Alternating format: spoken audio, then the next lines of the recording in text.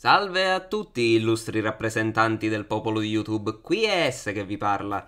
Eccoci giunti al penultimo dei casi clinici di Freud, anche questo tra i più famosi e conosciuti tra tutti, quasi sicuramente il più commentato in assoluto. Mi sto riferendo, come se ce ne fosse bisogno dato che l'avrete già visto dal titolo, al caso di Daniel Paul Schreber, meglio conosciuto come il caso del presidente Schreber. Questo caso, rispetto a tutti gli altri che abbiamo visto insieme, ma anche rispetto all'ultimo che vedremo dopo di questo, ha delle peculiarità che lo rendono assolutamente unico nel suo genere. Sicuramente le caratteristiche uniche che possiede sono due. La prima è che Freud prima d'ora non aveva mai portato un caso di psicosi. Sì, mi direte che l'uomo dei lupi, come avete appreso dal suo video, fosse anch'esso psicotico. È vero, ma Freud, almeno nel resoconto che ci ha lasciato, trattò Pankejev come fosse un nevrotico. Dunque non è di psicosi che ci parla il nostro Sigmund in quel caso. La seconda è il metodo utilizzato per parlare di questo caso. Infatti Freud non incontrò mai Daniel Paul Schreber, ancora ancora il piccolo Hans lo incontrò un paio di volte. Schreber no, si tratta in tutto e per tutto di una lettura in chiave psicoanalitica dell'autobiografia clinica, per così dire, che il presidente Schreber scrisse e pubblicò nel 1903 dal titolo, anch'esso celeberrimo, Memorie di un malato di nervi. Al proposito, scrive Freud nella premessa al caso. L'indagine psicoanalitica della paranoia sarebbe assolutamente impossibile se i malati non possedessero la prerogativa di tradire, sia pure in forma deformata, proprio ciò che gli altri nevrotici tengono celato come segreto. Poiché i paranoici non possono essere indotti forzatamente a superare le loro resistenze interne e comunque dicono solo quel che hanno voglia di dire, proprio per questa malattia è possibile supplire alla conoscenza personale del malato con una relazione scritta o con un caso clinico stampato. Ritengo perciò che non sia del tutto arbitrario basare un'interpretazione psicoanalitica sulla storia della malattia di un paranoico che non ho mai conosciuto, ma che ha descritto egli stesso il proprio caso clinico e l'ha reso pubblico attraverso la stampa. In effetti Qui Freud ha proprio ragione. Gli psicotici, soprattutto i paranoici, sono davvero molto bravi a mettere nero su bianco ciò che passa loro per la testa. Io stesso ho potuto provare direttamente questo con la tesi di triennale incentrata sull'autobiografia di Alberto Olivo, su cui vi ho già portato un video. Lo fanno anche fin troppo bene. Memoria di un malato di nervi risulta essere un testo davvero, davvero noioso per la dovizia di Schreber nel descrivere tutti i suoi stati mentali, tutte le sue allucinazioni, tutti i suoi deliri e così via. È Schreber stesso a scriverlo, è per la scienza, per l'interesse scientifico che produrrà il suo libro che l'ha scritto, ma non solo, anche per la conoscenza di verità religiose. L'autobiografia stessa è un fenomeno psicotico di per sé in piena regola come lo è anche l'autobiografia di Olivo e di altri psicotici che si sono cimentati nella messa nero su bianco della loro vita. Ma, col nostro solito procedere con ordine, veniamo dunque alla storia della malattia del presidente Schreber, per vedere poi insieme che lettura ne ha dato il nostro Sigmund. Fondamentalmente, la malattia di Schreber può essere suddivisa storicamente in due tempi. Infatti, in un periodo che andò dal 1884 al 1885, fu curato per sei mesi nella clinica del dottor Fletchsig per un, così venne definito, grave attacco di ipocondria che si risolse, sempre così scrive Schreber, senza alcun incidente che sfiorasse la sfera del sovrasensibile. Abbiamo appreso inoltre, scrive Freud, che il dottor Schreber all'epoca della sua ipocondria, la mette anche Freud tra virgolette, era già sposato da tempo. Egli scrive infatti Forse ancor più viva fu la gratitudine di mia moglie, che nel professor Fletchsig venerava colui il quale le aveva ridonato il marito. e per questa ragione tenne per anni il suo ritratto sul tavolo. E subito oltre. Dopo la guarigione della mia prima malattia, ho passato con mia moglie otto anni nell'insieme assai felici, ricchi anche di onori esterni e turbati talora solo dalla ripetuta delusione della nostra speranza di avere bambini. Insomma, tutto sommato, Schreber è un uomo rispettabile e in carriera perfettamente integrato socialmente. Non pensiate che gli psicotici siano tutti dei dissociati mal integrati socialmente. Tutt'altro, uno psicotico compensato, portato nel contesto di oggi soprattutto, cento anni dopo il caso di Schreber, può essere molto più integrato socialmente di un nevrotico grave. Per Schreber fu effettivamente così, tant'è che ve l'ho già chiamato presidente, in quanto nel giugno del 1893 gli venne annunciato che di lì a poco sarebbe diventato presidente della Corte d'Appello di Dresda, cosa che avvenne l'1 ottobre sempre del 1893. Perché questo sia importante è presto detto, in quanto proprio tra quel giugno e quell'ottobre capitò a Schreber di sognare più volte che la sua passata malattia era tornata e perciò si rattristava parecchio, salvo poi rallegrarsi al risveglio capendo che si era trattato di un sogno. Poi abbiamo il sogno più importante in assoluto che fece in questo periodo. Inoltre, scrive Freud, una volta nelle prime ore del mattino, in uno stato tra il sonno e la veglia, gli si affacciò la rappresentazione che dovesse essere bello essere una donna che soggiace alla copula, idea che, in stato di piena coscienza, egli avrebbe respinto con la più grande indignazione.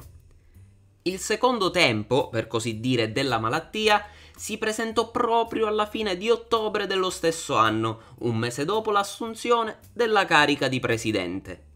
Inizialmente si manifestò con una forte insonnia che lo costrinse a tornare nella clinica di Fletchsig, dove però continuò a peggiorare.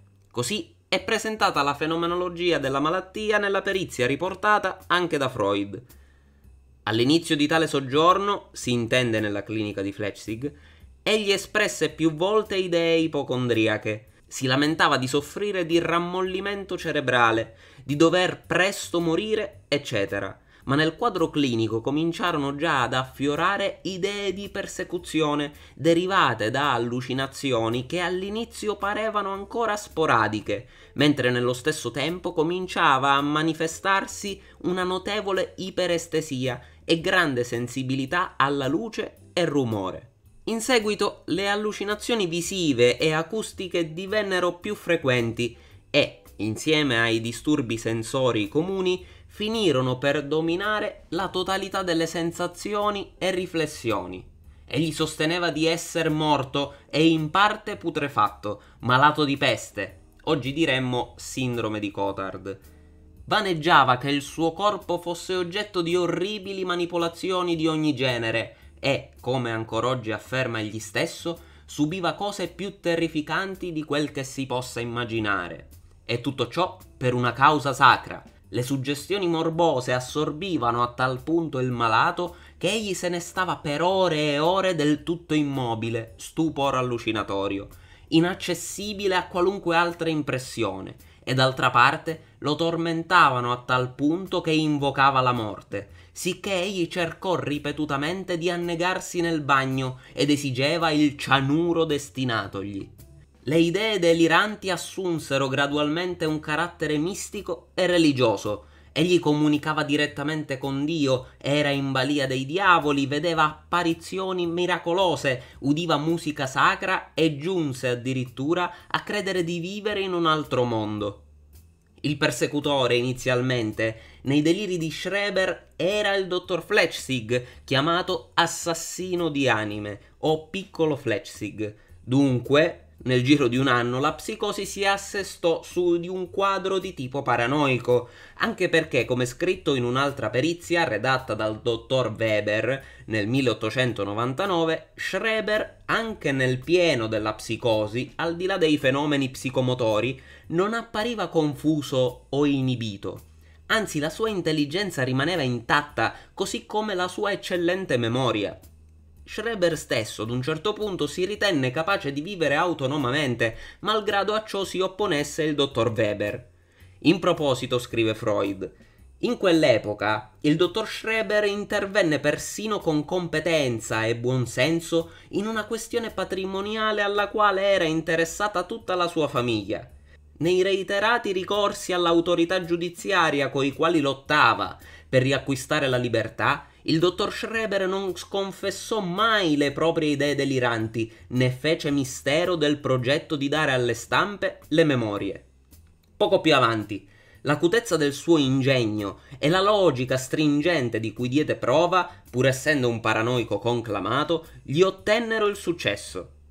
Infatti nel 1902 l'interdizione dai diritti civili fu revocata e l'anno seguente le memorie di un malato di nervi vennero pubblicate in volume, benché censurate e purgate di alcuni passi di notevole rilievo.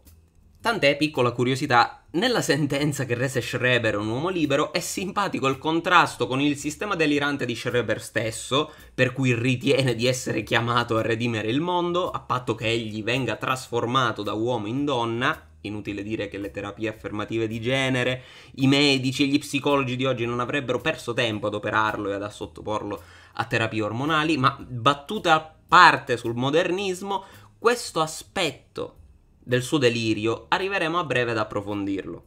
Schreber deve diventare donna perché così è scritto. Questo è l'ordine del mondo a cui non può sottrarsi, per quanto avrebbe preferito rimanere uomo, è un ordine superiore ad ordinarglielo. Da qui la questione dei raggi divini, l'essere la donna di Dio e così via. Ma procediamo, come sempre, con ordine. Prima di elencare quelli che sono i punti essenziali al fine di comprendere con la lente della psicoanalisi i deliri di Schreber, Freud pone una linea di demarcazione ben precisa tra il metodo psicoanalitico e la fenomenologia psichiatrica.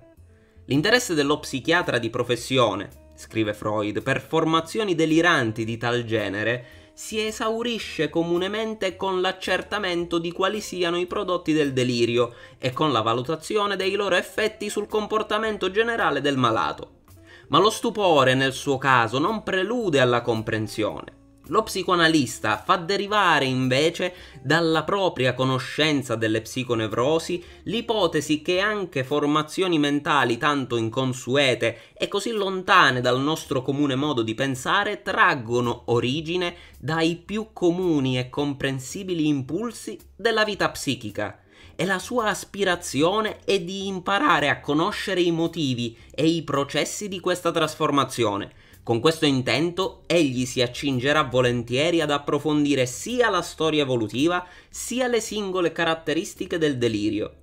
Quindi Freud prosegue col mostrare quelli che sono i punti principali, quelli più salienti, che ci possono aprire la strada alla comprensione di questo caso di psicosi paranoica.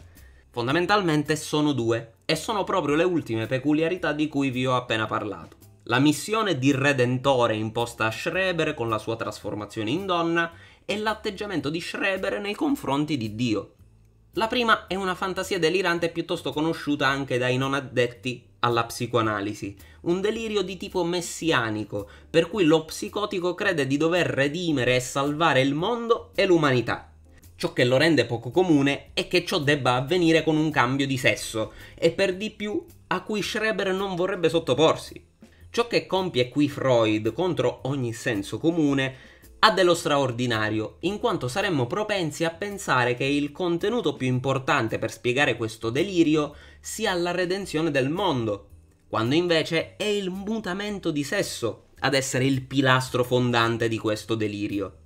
L'idea di essere trasformato in donna, infatti, ovvero evirato, ci tiene a sottolineare Freud ovviamente, era stato il delirio primario su cui solo dopo si è costruito quello della redenzione del mondo. Scrive Freud. Non v'è dubbio inoltre che in principio la trasformazione doveva compiersi al fine di un abuso sessuale e non in funzione di finalità più elevate.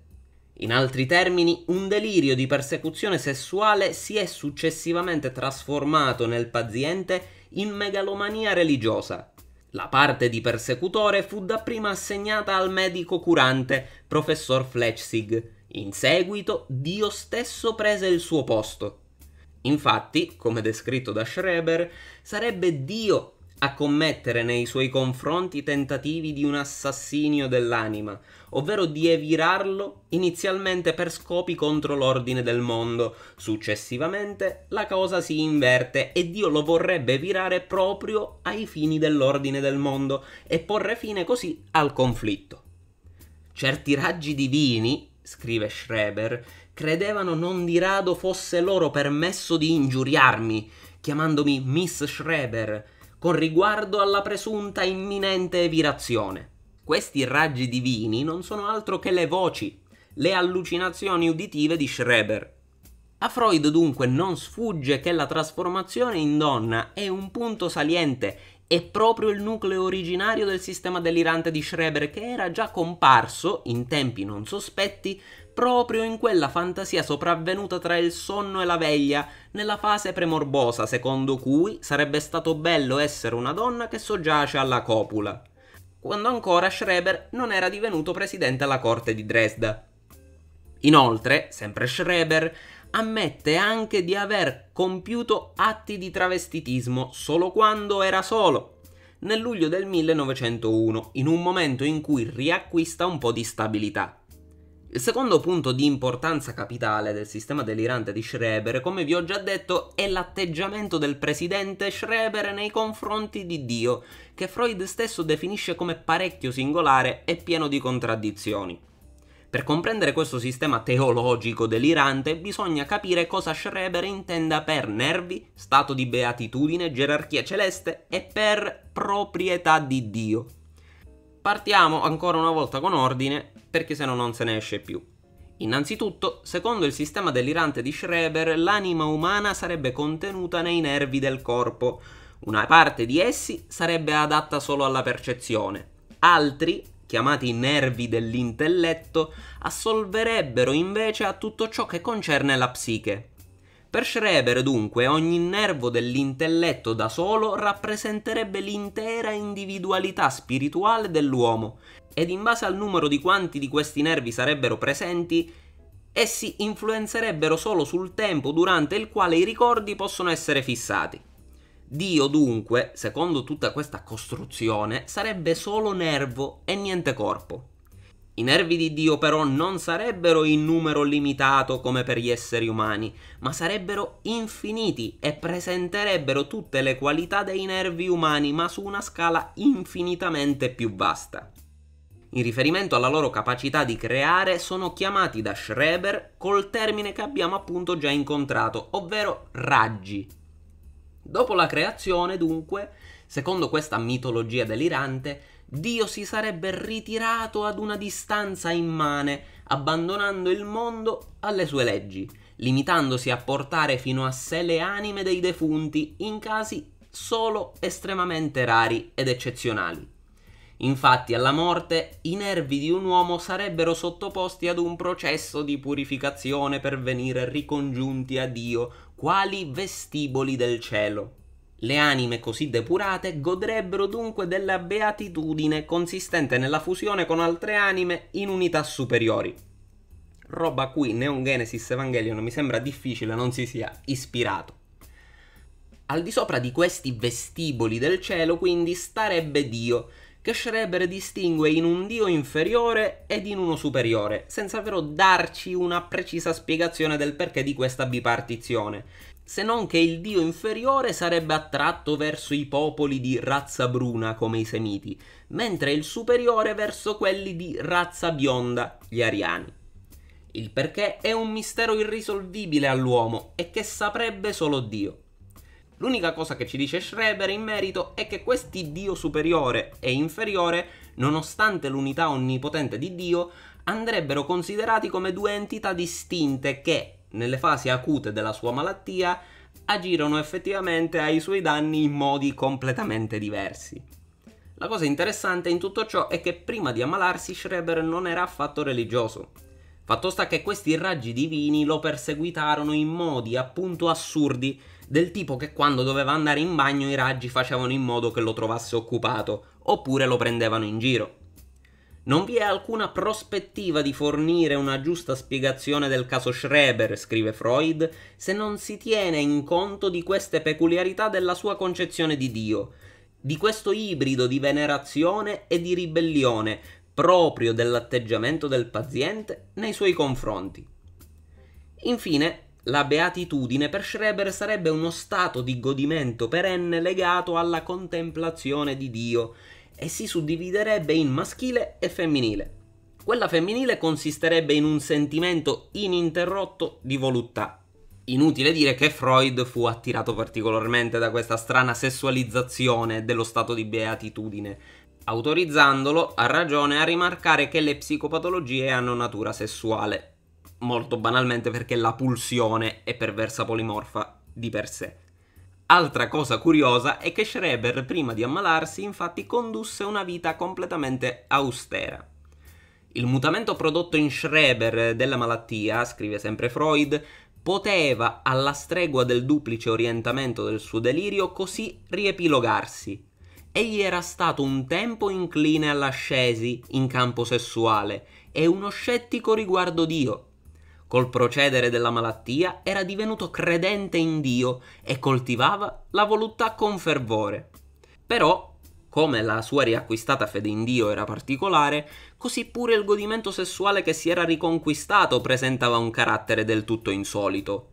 Non si trattava più di una libertà sessuale maschile, bensì di sentimenti sessuali femminili, poiché egli di fronte a Dio assumeva un atteggiamento femminile e sentiva di essere la sua donna. Infatti Schreber riteneva di aver disseminati nel corpo questi nervi di voluttà, che addirittura li si poteva sentire sotto pelle ovunque nel suo corpo, come fili o corde. Chi è vecchio come me ricorderà la cosiddetta sindrome di Morgellons in una delle puntate di quella dispensa di trash e fake news di mistero. Insomma, come detto da Freud, gli elementi principali del delirio di Schreber sono senza dubbio l'essere trasformato in donna ed il suo rapporto privilegiato con Dio, collegati tra loro dall'atteggiamento femminile nei confronti di Dio stesso.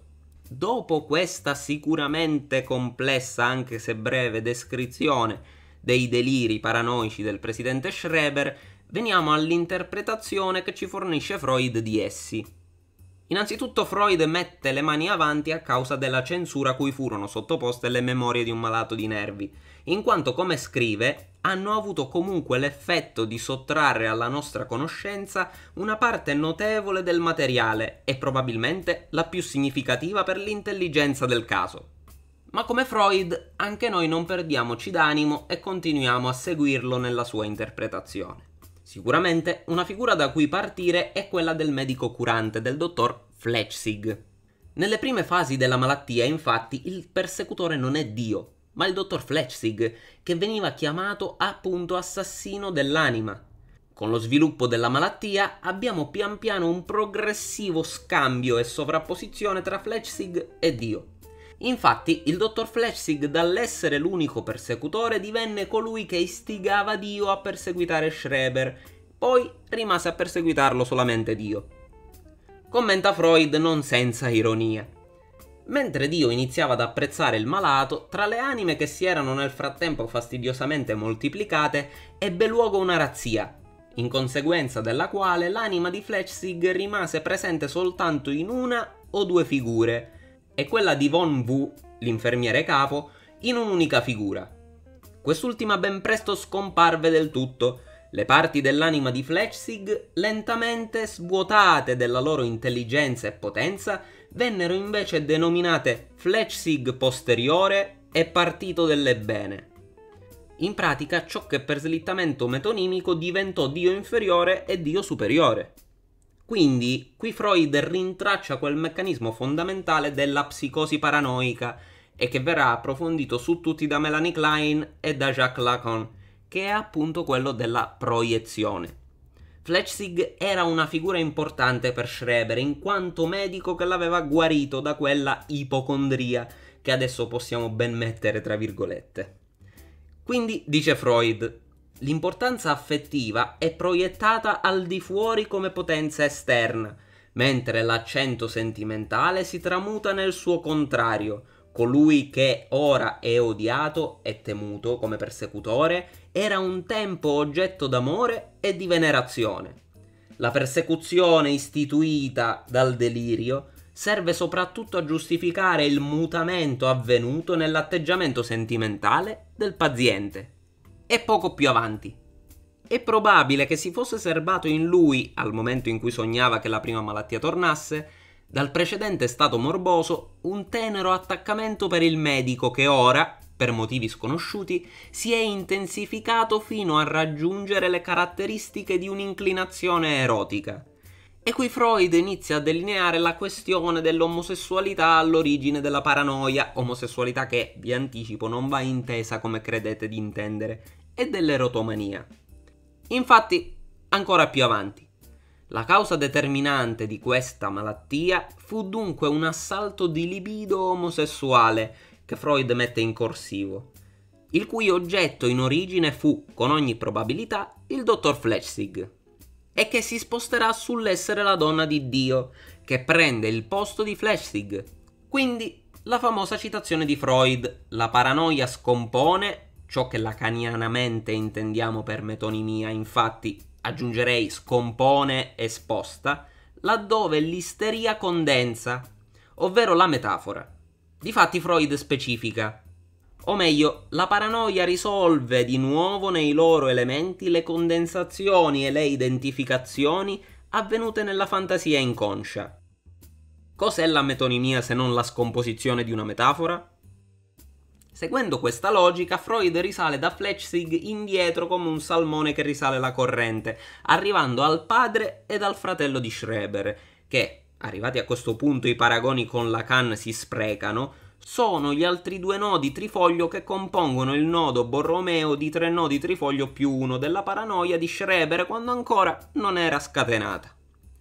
Infatti scrive Freud, se il persecutore Flechsig era a suo tempo una persona amata, allora anche la figura di Dio non può che essere la ricomparsa di qualche altra persona ugualmente amata, ma probabilmente di importanza maggiore. Se procediamo, come ci sembra giusto da questo corso di pensieri, dovremmo ammettere che quest'altra persona non può essere altri che il padre di Schreber, e ciò rende ancora più evidente che a Flechsig va assegnato il ruolo del fratello, presumibilmente maggiore di lui.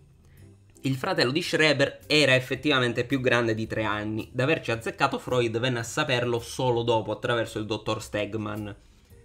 Non so se riesco a farvi percepire la differenza che c'è tra questo, che è un palese slittamento metonimico del significante, da quella che è una catena significante nevrotica come quella dell'uomo dei topi, che si sostiene sulla metafora all'apparenza può sembrare la stessa cosa, ma è la logica sottostante per cui un significante viene messo appresso ad un altro che cambia tutto.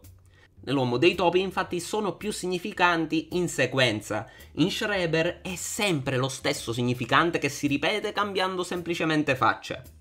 Non per niente, il padre di Schreber era per così dire un uomo molto particolare. Era un medico e pedagogista tra molte virgolette, i cui sforzi diretti ad uno sviluppo armonico della gioventù, scrive Freud, al coordinamento dell'educazione familiare con quella scolastica, all'elevazione del livello sanitario dei giovani attraverso la cultura fisica e il lavoro manuale, hanno esercitato un'influenza duratura sui suoi contemporanei. Della sua fama quale fondatore in Germania della ginnastica terapeutica testimoniano ancora le numerose edizioni. Vi ricorda forse qualcosa? Questo caso è stato scritto nel 1910. Qualche anno più tardi i libri del padre di Schreber vennero utilizzati per crescere la gioventù hitleriana. Ovviamente sia Schreber senior che Schreber junior questa cosa non la seppero mai perché il nostro Schreber morì nel 1911, un anno più tardi questo caso clinico di Freud, mentre il padre nel 1861. Ma comunque, insomma, se i suoi metodi pedagogici piacquero al baffetto, credo che renda particolarmente bene l'idea di come Schreber e suo fratello vennero cresciuti. Un tal padre non era certamente inidoneo a diventare oggetto di trasfigurazione nel tenero, mica tanto, ricordo del figliolo, a cui era stato rapito così precocemente dalla morte. Appunto, mio caro Sigmund, un dio padre persecutore e abusante. Sono dunque queste le conclusioni cui arriva Freud. Se gli uccelli miracolati, i quali come ci è risultato dissimulano delle ragazze, derivano dai vestiboli del cielo, essi gioveranno forse a farci considerare i reami anteriori e i vestiboli del cielo. Vestibolo è usato in tedesco anche per indicare in anatomia una parte dei genitali femminili, quali simbolo della femminilità e i reami posteriori quali simbolo della virilità. Non fatevi ingannare dal termine simbolo qui utilizzato da Freud e se poi fossimo certi, continua sempre Freud, e lo siamo, che il fratello morto era maggiore di Schreber, potremmo a ben diritto individuare nello smembramento di Dio, in un Dio inferiore e in un Dio superiore, l'espressione di un ricordo del paziente, secondo cui dopo la prematura morte del padre, il fratello maggiore ne prese il posto. Insomma, quello che capiamo qui con le lenti lacaniane è che dallo scatenamento causato palesemente dalla presidenza alla Corte d'Appello di Dresda, la catena significante salta, collassa su un S1 che non può che ripetersi all'infinito. Non c'è S1, S2, S3 e così via. Come nell'uomo dei topi. Ci sarebbero ancora un sacco di robe che potremmo comparare tra la lettura lacaniana con ciò che vede Freud. La spinta alla donna, la metafora delirante che serve a mettere una pezza ai fenomeni di frammentazione corporea e tanto altro che vi tengo volutamente sullo sfondo come fatto con gli altri casi clinici precedenti, per provare a farvi percepire qualcosa che nessun altro prova a fare. Perché uno tra i tanti scopi già elencati nei precedenti video di questa serie di video sui casi clinici di Freud è che spero di rendervi il più palesemente possibile che se Freud ci andava a fiuto, a naso, per i casi clinici, Lacan ci andava con una logica molto più stringente, chiara e cristallina. I miei video sui casi clinici di Freud hanno, insomma, lo scopo, forse irraggiungibile, di sfatare il fatto che Lacan sia complicato, perché non è lui ad esserlo, è Freud. Lacan è complicato soltanto nella misura in cui lo è Freud e anzi, quando capirete questo non potrete fare a meno che leggere Freud per poi rivolgervi a Lacan per spiegarvelo, perché come è successo a me con questo e con tutti i casi clinici precedenti, qualche cosa non la capirete sicuramente. In ogni caso ritorneremo in futuro sulla lettura lacaniana di questi casi, ma chiudiamo questa parentesi e continuiamo. Dopo un pippozzo mentale di Freud di tipo junghiano sul fatto che i raggi rimandano al sole che in tutte le culture è simbolo maschile paterno e bla bla bla bla, il sunto di tutto è in questa frase proprio la minaccia paterna maggiormente temuta, e cioè quella dell'evirazione, ha fornito materia alla fantasia di desiderio avente per oggetto la trasformazione in donna, fantasia inizialmente combattuta ma infine accettata. L'allusione a una colpa, dissimulata attraverso la formazione sostitutiva dell'assassino dell'anima, appare oltremodo trasparente, Passiamo infine a quello che è l'insegnamento generale sulla psicosi paranoica che Freud trae da tutte queste intuizioni. Ci siamo finora occupati del complesso paterno che domina il caso Schreber e della fantasia di desiderio intorno a cui ruota la malattia, e più avanti. Tuttavia, basta indagare appena un poco più in profondità per rendersi conto che il fattore che ha determinato questi danni di carattere sociale è stato proprio il concorso della componente omosessuale presente nella vita sentimentale del paziente. Con il capitolo 3 di questo caso iniziano i veri problemi di cui vi dicevo, perché c'è una confusione enorme nell'esporre degli insegnamenti comunque validissimi se capiti. E quando sono arrivato a questo punto, infatti, che ho iniziato ad ubriacarmi ed ho deciso di rivolgermi al seminario terzo per capirci qualcosa. Perché fondamentalmente sta roba dell'omosessualità, fino a quando non me l'ha spiegata Lacan, non l'ho capita. Tant'è che su, proprio su questa cosa alcuni accusano Freud di omofobia.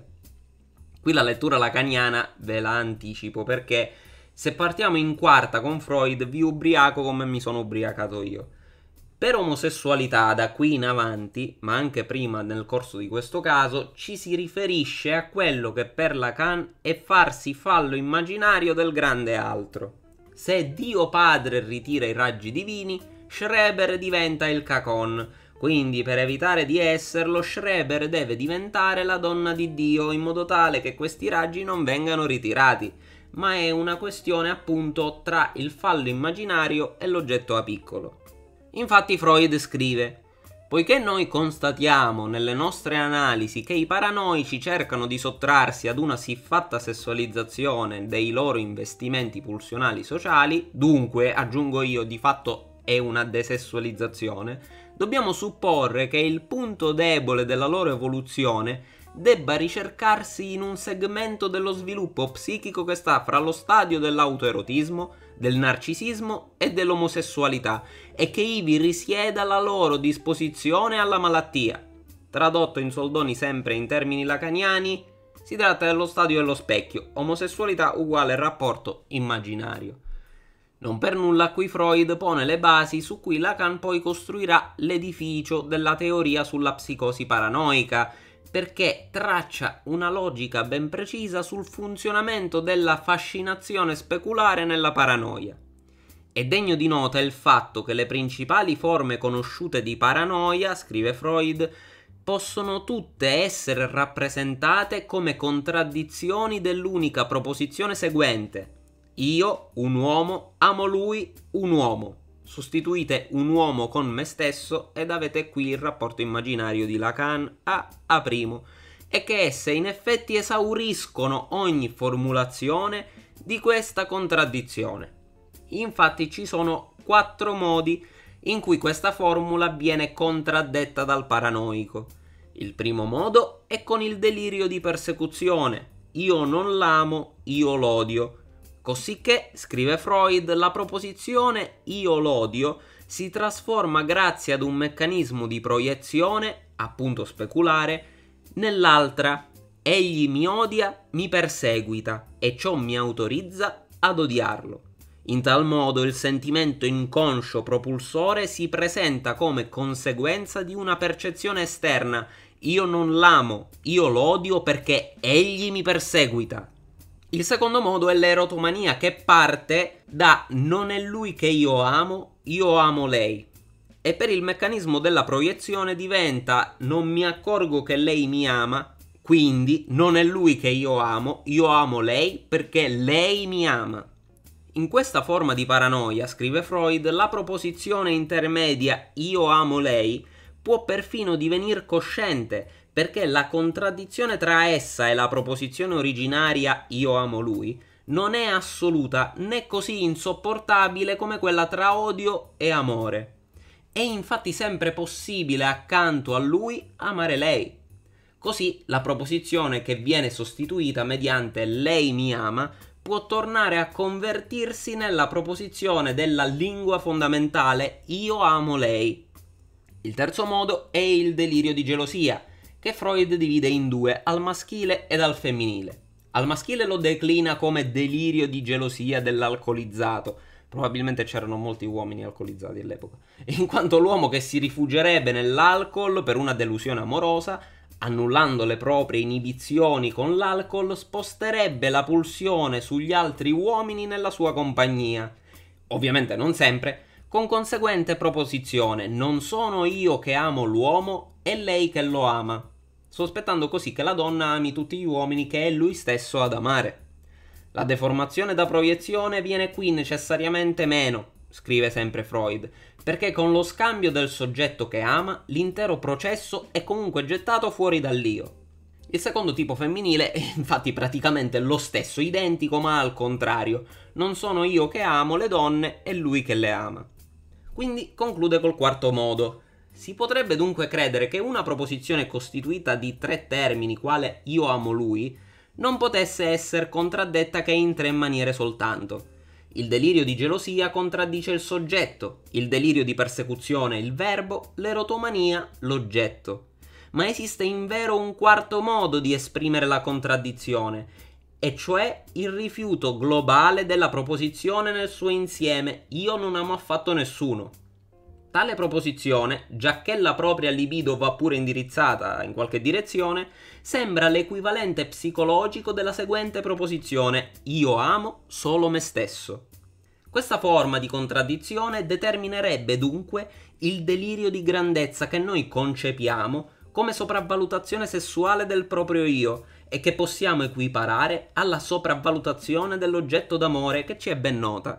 Quindi conclude il discorso in questa maniera. Nel delirio di persecuzione, la deformazione consiste in una trasformazione dell'affetto. Ciò che dovrebbe essere sentito interiormente come amore è percepito come odio proveniente dall'esterno. Si sarebbe tentati di considerare questo singolare fenomeno come il fattore più significativo e comunque assolutamente patognomonico per la paranoia, se non ci venisse opportunamente ricordato 1. Che la proiezione non ha la stessa funzione in tutte le forme della paranoia. 2. Che essa non è una manifestazione esclusiva della paranoia, ma compare anche in altre situazioni della vita psichica. Arrivati a questo punto, e risolta la questione sull'omosessualità che sarebbe all'origine della paranoia, non posso che risolvervi solo superficialmente il secondo punto, che è, direi quasi, più di carattere filologico. Difatti Freud inizia a parlare del ruolo che la rimozione, tra virgolette, avrebbe nella paranoia. Ma questo termine è messo tra virgolette anche nel testo, poiché è probabile che il termine tedesco utilizzato sia un altro, quello che nel seminario terzo verrà tradotto come forclusione o preclusione, che sta all'origine della psicosi. Per le opere complete di Freud, infatti, i curatori si sono ben premurati di non permettere un controllo diretto della correttezza delle traduzioni, pubblicando tutto senza il testo tedesco a fronte. Quello che posso dirvi, quindi, oltre a consigliarvi la lettura del seminario terzo di Lacan, è che ad un certo punto Freud giunge ad affermare due concetti fondamentali per la clinica delle psicosi della paranoia e che Lacan riprenderà precise. Il paranoico ricostruisce il mondo non più splendido in verità, ma almeno tale da poter di nuovo vivere in esso. Lo ricostruisce col lavoro del suo delirio. La formazione delirante che noi consideriamo il prodotto della malattia costituisce in verità il tentativo di guarigione, la ricostruzione. La seconda invece è probabilmente la citazione più famosa di tutto il caso clinico del presidente Schreber. Non era giusta l'affermazione secondo cui la percezione interamente repressa verrebbe proiettata all'esterno. La verità di cui ora ci rendiamo conto è piuttosto un'altra. Ciò che era stato abolito dentro di noi a noi ritorna dal di fuori. Riprendiamo soltanto la prima delle due proposizioni, in quanto l'ultimo passaggio importante del caso, dopo un breve riepilogo di tutte le considerazioni sulla paranoia a cui Freud è giunto, è, a parer mio, l'ultima di queste quattro, ovvero la considerazione sulla separazione diagnostica tra schizofrenia o demenza precox e la psicosi paranoica. Infatti Freud capisce che le due psicosi sono imparentate, ma che è giusto separarle per alcuni aspetti essenziali. Io penso che Krepelin abbia avuto perfettamente ragione di separare gran parte della sindrome fino ad allora definita paranoica e di assorbirla con la catatonia ed altre forme morbose in una nuova unità clinica, benché a dire il vero, la denominazione di demenza precox mi sembri una scelta particolarmente infelice, anche contro il termine schizofrenia coniato da Bloiler per designare lo stesso gruppo di forme morbose ci sarebbe da obiettare che esso appare accettabile solo se si prescinde dal suo significato letterale.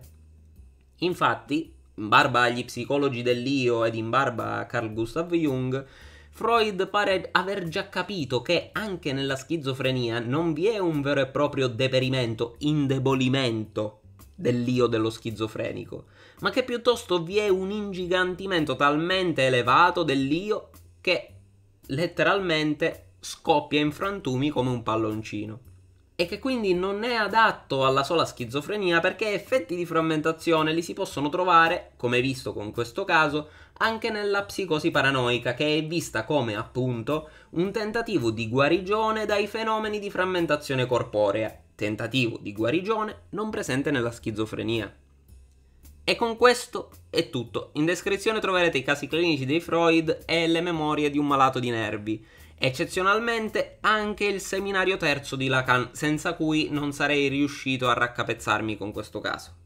Se vi è piaciuto il video vi invito dunque a mettere un mi piace, a condividerlo se conoscete qualcuno cui possa interessare e ad iscrivervi se volete continuare a seguire questa ed altre rubriche. Inoltre tra i commenti troverete i link alle pagine Instagram e Facebook del canale. Alla prossima!